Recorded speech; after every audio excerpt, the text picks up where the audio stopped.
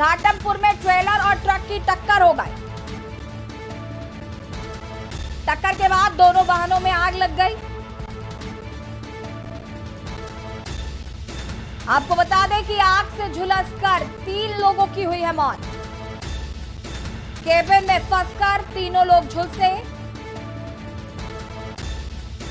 Cabin में फंसकर तीनों लोग झुलसे।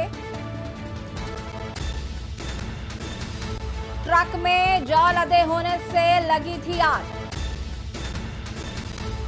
तीन घंटे बाद फायर ब्रिगेड ने पाया आग पर काबू। कानपुर आउटर के सजेती गुजेला के पास की ये घटना बताई जा रही। कानपुर से खबर, घाटमपुर में ट्रेलर और ट्रक की टक्कर से हुआ भीषण हादसा। ट्रक के बाद दोनों वाहनों में भीषण आग भी लग गई। और ये एक्सक्लूसिव तस्वीरें हम आपको दिखा रहे हैं, जहाँ पर ट्रक और ट्रेलर दोनों में लगी भीषण आग। केबिन में फंसकर तीन लोग झुलसे। आपको बता दें कि ट्रक में जौ लदे होने की वजह से आग लगी थी। और ये तस्वीरें हम आपको लगातार दिखा रहे हैं।